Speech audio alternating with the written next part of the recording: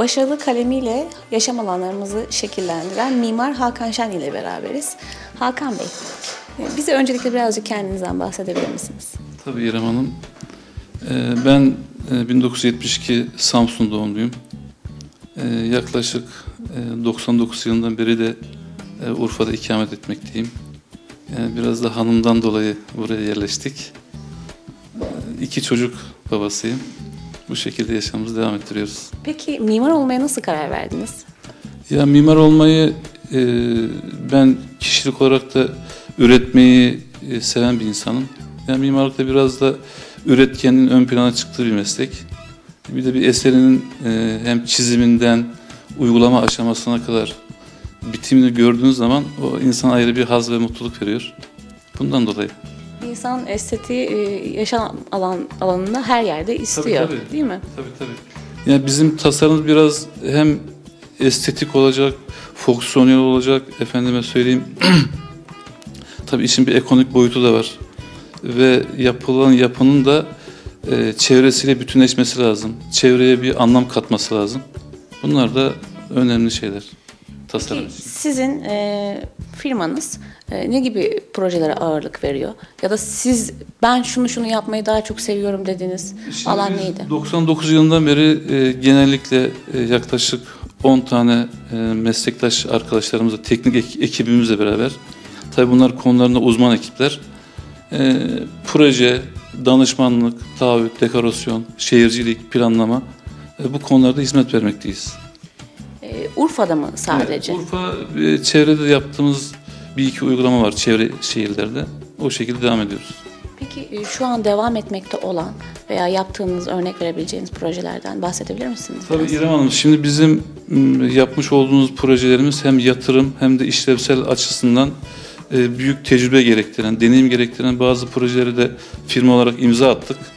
Mesela bunlardan bazıları Ticaret ve Sanayi Odası Hizmet Binası projesi, e, Ticaret Borsası Hizmet Binası projesi, e, Şanlıurfa e, Mali Müşavirler ve Serbest Muhasebeciler Odası Hizmet Binası, Ayrıca bizim gene e, şahsen takip ettiğimiz, firma olarak da takip ettiğimiz tamamı Avrupa Birliği'nden hibe olan yaklaşık 20 milyon euroluk iki tane projenin de takibini yapıyoruz.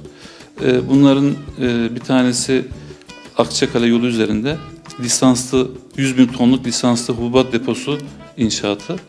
Bir tanesi de organizede yapılan 20 bin tonluk lisanslı pamuk deposu inşaatı.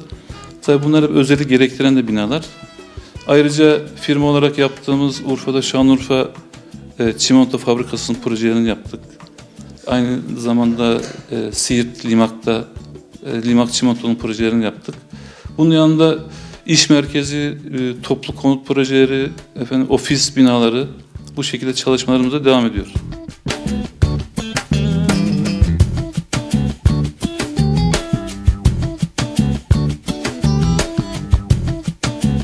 Hakan Bey, Şanlıurfa Ticaret ve Sanayi Odası'na geldik. Bu binadan biraz bahsedelim. Tabii İrem Hanım, e, binamız iki bodrum zemin artı asma kat artı 8 kattan oluşan bir binamız.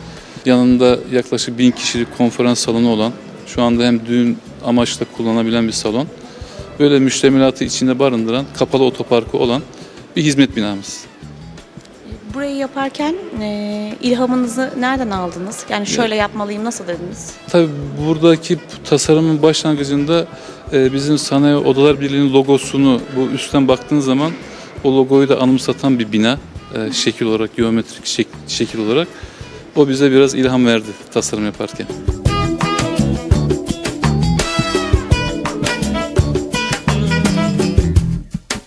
Hakan Bey, Şanlıurfa Ticaret Borsası Hizmet Binası'ndayız. Burayı da siz yaptınız. E, anlatalım bakalım nasıl yapmışsınız? İrem Hanım bu binamız da e, iki bodrumlu, zemin asma ve 8 normal katı olan bir binamız. E, son katımız da e, konferans salonu olarak tasarlanmış.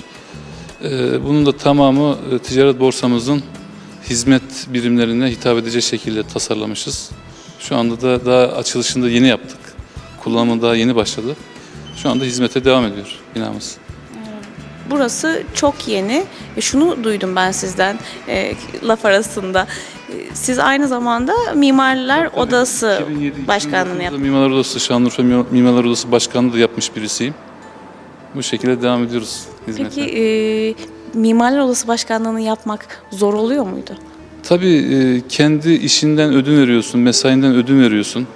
E, biraz zor oluyor. E, Biraz maddi insanın şeyi de oluyor ama onun sana vermiş olduğu haz bambaşka. Çünkü kente bir şey katma çabası içinde oluyor insan. Bu da insanı mutlu ediyor.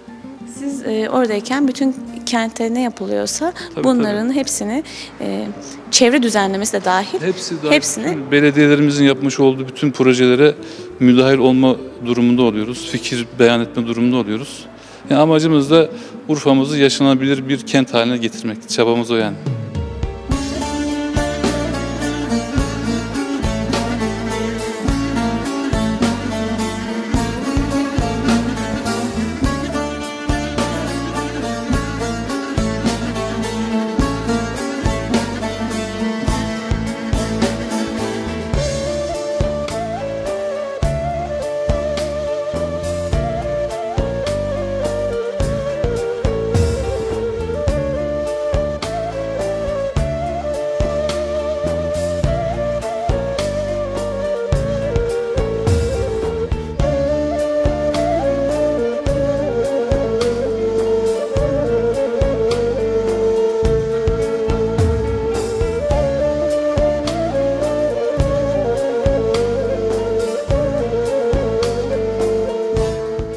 Avrupa Birliği'nin hibe ettiği, yani sizin projesini devam ettirdiğiniz. Bunu biraz açalım çünkü e, bayağı da e, merak ettim. Şimdi İrem Hanım bu projemiz e, hem Urfa'mıza da bir kazanım e, getiren bir proje. E, biliyorsun Urfa tarım şehri. E, bizim takip ettiğimiz ve yaptığımız projelerimizin bir tanesi yerinde de bakmıştık zaten. E, 100 bin tonluk lisanslı hububat deposu. Yani çıkan ürünlerin burada e, sertifika eliyle satılmasını da önüne açan bir borsa gibi alış. Ürün olmadan da kağıt üzerinde satılmaya vesile olan bir proje. Bunun Urfa'ya büyük kazanımlar getireceğine inanıyorum. Diğer projemiz de e, organizede yapılan e, pamuk depo inşaatımızdı. Bunların her biri yaklaşık e, do- 9,5 milyon euroya tekabül eden ve tamamı Avrupa Birliği'nin desteğiyle yapılan projeler. Peki e, Urfa'da inşaat yapmak zor mu? Hava koşulları, zemin. Bunları da biraz e, bahsederseniz. Şimdi Urfa'mız bu konuda e, belki Türkiye'de e, en imkanı geniş olan bir kentimiz. Çünkü hava şartları genelde inşaat yapmaya mani bir pozisyon olmadığı için her mevsim, her ay inşaat devam etme pozisyonu var. Bir sıkıntı olmuyor. Ekibinizden bahsedelim biraz. E, kaç kişilik ekibiniz var? E, Bizim hizmetler nedir? Bizim ekibimiz 10 kişi, yaklaşık 5 mimar arkadaşımız var. Ee, bir tane inşaat mühendisimiz var. iki tane tekniker arkadaşımız var.